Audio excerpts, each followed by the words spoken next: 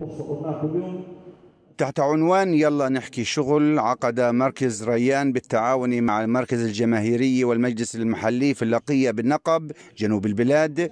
لقاء جماهيريا للتعرف على الخدمات المقدمة لجمهور الشباب بهدف توجيههم المهني. أول شيء مهم جدا أن اليوم نأخذ كل الشباب الموجودين في اللقية اليوم اللي هم خلصوا مدرسة اليوم ونأهلهم لسوق العمل ولازم ندمجهم في سوق العمل.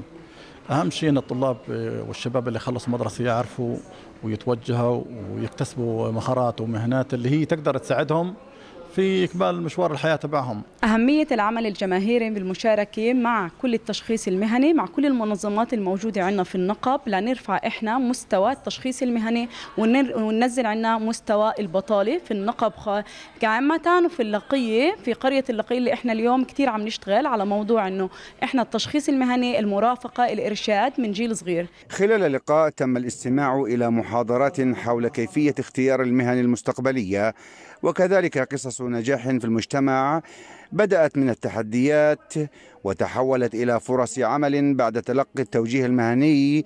خاصة لجمهور الشابات والشبان الذين أنهوا المرحلة الثانوية. إحنا موجودين اليوم في حدث جماهيري في اللقية بعنوان يلا نحكي شغل هدفه إنه نحاول إحنا نكشف خدمات مراكز ريان على الجمهور المحلي ونحاول نرفع الوعي بالنسبة لكيف إحنا بنختار المهنة الشخصية تبعتنا بناء على اي اعتبارات على موضوع الطلب بسوق العمل وكمان كيف إحنا بنفع نتعامل مع التحديات المجتمعية العائلية بهذا السياق. اليوم جيت مشان أشوف يعني يعني كطالبة وكعامل اجتماعية بتعلم عمل اجتماعي فكلية سبير. فجيت اليوم مشان أعرف إيش ال ال الأبواب المفتوحة في وجهي وإيش التحديات اللي شافوها ناس غيري اللي ممكن يعني أخذ عبرة منهم. وأكد المتحدثون ضرورة الانكشاف على الخدمات المقدمة لشريحة الشباب ورفع الوعي لديهم من أجل التعامل مع التحديات المجتمعية والأسرية والتوازن بين الاختيار والطلب في سوق العمل.